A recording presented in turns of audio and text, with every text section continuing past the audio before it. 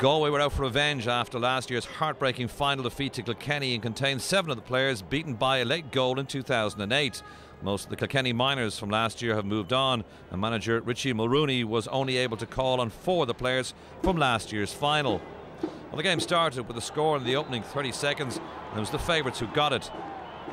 Straight from the throw in, David Glennon got free and then picked out Donny Fox. He in turn left his marker on the turf before scoring the opening point of the game.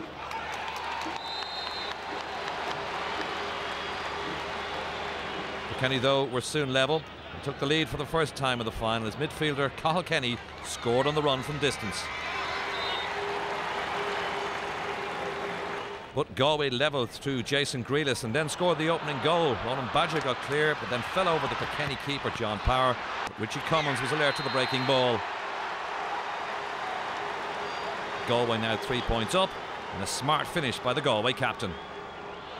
Kilkenny though responded and a smart finish of their own by Martin Gaffney and at that stage the Cats led by a point. But Kilkenny didn't score for the rest of the half. Niall Burke scored four points and this Cummins goal in injury time put Galway seven up at the half-time break. Any thoughts of a runaway win for Galway were quickly cast aside as Kilkenny hit back with two early second half points and then a goal by Killian Buckley put the margin to two. Kilkenny were on top now and corner forward and captain Canice Maher pointed to cut the gap to just a single point.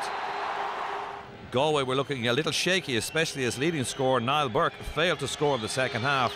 Responsibility for free taking was handed over to 16 year old Shane Maloney, and he scored two wonderful points from long distance frees to put Galway right back on track. David Glennon scored a point, and substitute Tadhg Horan got another to call a halt to Kilkenny's attempt at a comeback. Galway's eighth minor title and the first since 2005 on a scoreline Galway 215, Kilkenny 211.